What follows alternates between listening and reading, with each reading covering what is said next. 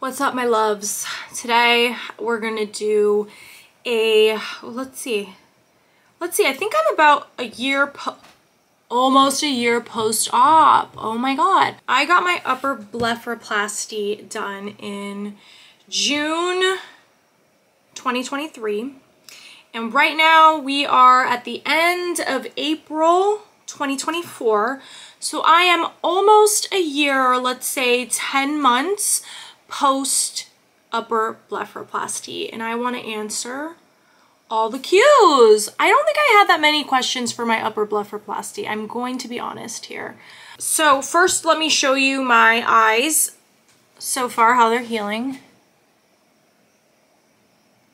One thing that I don't like is, look, I'm not gonna lie, this scarring, the scar took a really long time to heal. I mean, I'm about 10 months post-op now and I still have a little bit of a, of a faint scar and scar tissue. So it's not like, like if you look up close, let me see if I can show you. You can see, look, you can see that scar right there. You see it just like faintly there. And then it also kind of like dents in there where I had that scar, where I had that tissue removed. This eye's a little better. You could barely see it. Um, but yeah, so the scar, the scarring has taken a long time and it's still not fully done and I'm 10, month, 10 months post-op. So that's just something to keep in mind. And it's something that I've actually learned with every surgery, any plastic surgery that you're gonna get. I just feel like this experience has made me a lot more cautious of any type of surgery that I get. Because I know for a fact you will have a scar and they're gonna lie to you and they're gonna say you're not gonna have a scar. You'll never see the scar. It's gonna be so light you're gonna have a scar and it's gonna be noticeable to you because you are the one looking at your face every single day. So while I think you know maybe give or take another three months year two post-op i don't know maybe that little scar tissue will heal. Maybe i might have to go in for a steroid injection or something to really help that dissipate but you will have a scar okay? Um I, I don't know what else to say. At least i have a scar and i'm not too happy about it. None too plussed my love. Had i known there would be a scar Perhaps I would have thought differently about this surgery. Um, not really. Anyway, my eyes have dropped. Uh, they're not as high and tight as they were post-surgery. It oh looks very natural for the most part besides the scar and like besides you see that little like dimple there whenever I kind of make an, an expression where like I don't know it's just something a little bit like off when I make a facial expression that's new, like a dimple that's new to me. I don't think anyone else will notice it. But, um, yeah. I don't know. It's, it's, it's not, it's, it's a little frustrating for me. There's also like this little divot here in my eye. Like, I don't, I guess I have it a little bit here too. Um, I didn't have that before. And I guess I didn't have it before because I had like fat over my eye and like fat over that area so you couldn't really see it and now you can kind of see this like strange divot there. Again, it's not the end of the world. It's not a big deal. It's just these little minor changes. Like you fixed one problem and now you're like, what the hell is that? They're not as major as the previous problem, that's for sure. But I mean, when you one thing I can say about getting a plastic surgery of any kind is when you fix one thing, something else pops up. um, but I don't regret it. I don't regret it because my eyelids were droopy city. This one was like way, way lower. Now they're at least even and like every day I wake up, my eyes match. They're not shifting sizes anymore, which is like the most amazing miracle that I could have ever asked for. That is the entire reason that I wanted this surgery was because I had dual eyelids, okay? And the saggy skin from my eyelids pulling down, my eyelids would settle in different creases. That's what's called different, like double crease, double creases. So my eyelids would shift with all the excess hanging fat and loose skin that it, that was hereditary. I was born that way and it was like super cute and sexy when I was younger, but as I got older, it just kept getting a little more saggy and then my you know, with the loss of fat around the orbital area, it just started to develop my eyes sitting in different creases more frequently because I even had that as a kid. And now I never have to wake up with one eyelid a different size than the other. I wake up every day and my eyelids are the same size. I do still have allergies, so like they might be a little swollen or puffy, but they're at least both the same. And that that's worth it. That's worth it for me. So how much did I pay for this upper blepharoplasty now that I am 10, 10 months post-op? Um, I paid a total of $4,000. The surgery was very straight to the point.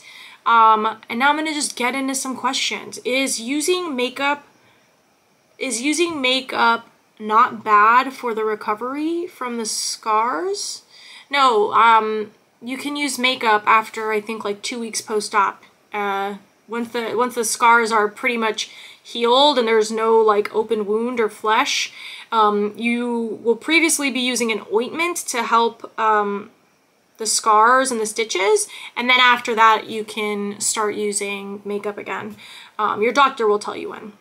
I didn't knew that scars lasted so long. Yes, now you knew that scars last that long. Um, they really do. And I had to use, and I'm still using scar cream morning and night. I have followed all the post-op instructions. Sunscreen, don't let the eyes see sunlight. I barely see sunlight anyway.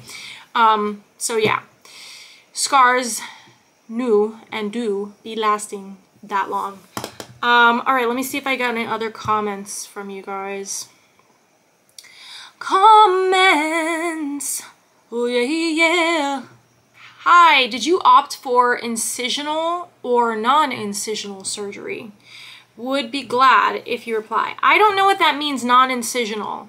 You have to have an incision for them to remove the extra folds of skin that are drooping over on top of the eye. So um, I, I had a, an incision on my eyelids. Um, I didn't know that there was a non, non-incisional surgery. Is that like the CO2 laser? Like I think that there's some treatments that's like a laser that like tightens everything. I don't personally believe in that. Um, I think if you want a result and you want it to last, uh, just go under the knife, get the incision and make it happen. I, I really don't believe in non-invasive things.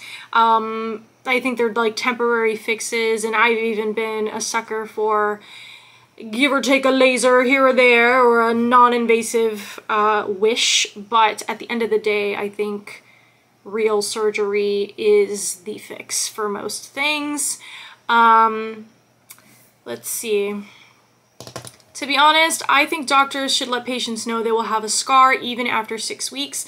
Right now I'm on day five and I'm scared of the scarring I will have. This isn't a piece of cake like I thought. They say two weeks you'll be good, but definitely not. I'm miserable right now and I got a brow lift too. I wish I would have only done the brow lift, but my doctor advised to do the eyelid as well for the brow lift. Yes, um, this is a procedure that is notoriously being touted as a two-week thing and you're no big deal, it's just two weeks. Yes, this is not a painful procedure at all. It's You're completely numb. You're not going to feel anything, but your eyes are going to look fucking weird for longer than two weeks, and you are going to have a very visible and noticeable scar for longer than two weeks. Yes, even after the six week mark. Uh, I mean, I'm still covering up my scar and then like at work, I'll notice, oh, fuck, like the makeup came off and it's still there. So yeah, it's a, it's a long recovery. Anything, any surgery I've just learned, it is a long recovery and doctors lie to you so that you can get it done and be like, woohoo. Hmm. My incisions seem to be placed a tad too high and likely won't be hidden in my natural crease. Yes, that's what happened to me too. Um, and she says that it looks like I'm going to be wearing copious amounts of makeup, of eyeshadow to hide them for the foreseeable future. Yes, um, so I think that they say there's no scar if you happen to be one of the lucky ones that just gets to have the incision, which I think happened more so on this eyelid for me. The incision and the scar tends to be right on the eyelid crease and then when you open your eye, it's hidden. However, to remove some of this skin, it didn't, my scar did not end up only in the eyelid crease, it ended up right around here. So it was above the eyelid crease to nip that skin. So yeah, it looks weird and it's not hidden and it's a visible scar. And so that's something that that needs to be taken into consideration for yourself too is like you might not have the kind of uh, eyelid skin that's just going to be like cute. Now I have like a double, like my eyelid is the scar. Wee hee. Like it's not like that not all the time. So yes, and I feel for you girl because I'm not skilled at makeup either. It looks so bad on me. It looks so phony. It looks so fake. I, I just, I, when I put on makeup, I make myself look worse somehow. Um, so yeah, I feel for you. Thanks for sharing. Your eyes are really gorgeous. They did an amazing job. That's really sweet. Thank you. I feel so so bad for this person. They said it's uh, the scar's too high. It's not hidden at all. Been using the Skinuva Scar Gel and it's a slow process. Um, I've made an appointment for a different surgeon for a second opinion. They keep telling me it's fine, but it's all a bunch of gaslighting. I have an I have a family event to go to in June and I can't go looking like this. I'm so sorry. I feel really bad, but it'll get better. I know exactly what you're talking about because my scar is above my eyelid crease too. And so it just takes time. And it's still not perfect to this day, but I will say it is a lot better. It's a lot better.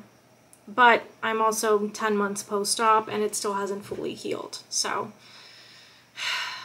Someone said, if you're doing this for cosmetic reasons, you may want to pass on the surgery. That's not a good reason to get cut, in my opinion. Seeing is important. Nobody except you cares how you look. That's a refreshing opinion to hear that nobody cares how you look except yourself. Um, that's true. I don't care how anyone else looks unless they look incredibly beautiful and I make me feel like shit. So that's true. And maybe we should all think like that a little bit more as nobody cares what we look like except ourselves. Someone said um, that their scars are barely visible. So that's amazing. See, different... Uh... May I ask which doctor in Encino did your procedure? Dr. Wang at Aesthetica. Dr. Wang at Aesthetica was my doctor. Five, I'll ask for work from five weeks after the procedure. Is that reasonable? Yes yes, that's reasonable. Five weeks is fine.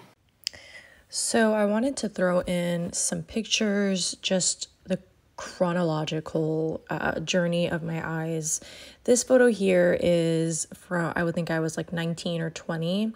So, I mean, I have a lot of heavy eye makeup on, but you can kind of see that this was more of a genetic thing for me. And then as I got older, the hooding on my eyes just got bigger and bigger. Um, so you can already see like in this picture the way that I had the hooded eyes and how they drooped. At least when I was younger, it was a little bit more even, the drooping. And then in this photo here, you can see I kind of always am chronically raising my eyebrows just as a as a way to fight the droopiness of the eyelids, but this is a photo. This is actually a screenshot from a video uh, that I was on the phone with my sister on FaceTime. So I wasn't really posing for anything, so I didn't lift my eyelids. And you can see that one particular eyelid. Well, first off, I look like shit, but that one particular eyelid is over my eyelashes. Um, and the other one is slightly larger and raised. So if you're looking at it, it's like the right eye, the right eye um, it's got that like really big droopiness and that was what was starting to like really bug me because sometimes I'd wake up and it would be like over my eyelash and sometimes it wouldn't so it was starting to really piss me off um, here's another example I think I have a filter on this photo. Um, but yeah so you can see I've got a lot more eyelid space um, on the right side. And then on the left side there's a little bit more of that sagging. So my eyelids are different sizes um, here's another example this I was just getting a laser facial I think this was like after the laser and you can kind of see I just had like a lot of puffiness that day um, so you can kind of see how there's the slight difference in the eyelids. This this example is not like as bad or extreme, but yeah. Um, this is me straight out of surgery. Um, yeah, so that was that. And then this is me now. This is me. What's that song? Isn't there like a song from the world's greatest showman or something. So you can see now that like I don't have as much hooding. Um it's not over my eyelash anymore on the one eye. My eyelids look pretty even, but you can still see faintly if you look at the left side of my face right above my eyelid, you can still see a faint little scar there. So yeah, but now you can see what I was going for and the result, and um, I happen to be happy with this. This is another photo and another example um, just from the other side of the face. So you could see the divots that I'm talking about right in the inner corner of my eye here on the right hand side of this photo. And again, right above my um, my eyelid at the end, the tail end, you can see a slightly faint red line but my eyelids are pretty even. Um, I don't have hooding that is going over my eyelashes anymore, and I feel like it just makes me look a little bit more refreshed. So I'm happy with it. Thank you guys so much for watching. If you have any questions about the blepharoplasty, let me know in the comments below. And I'll do my best to answer them when I have time because you know what? I'm chronically online, so I, I should be able to answer them. Okay. I love you. Thanks for watching. Bye.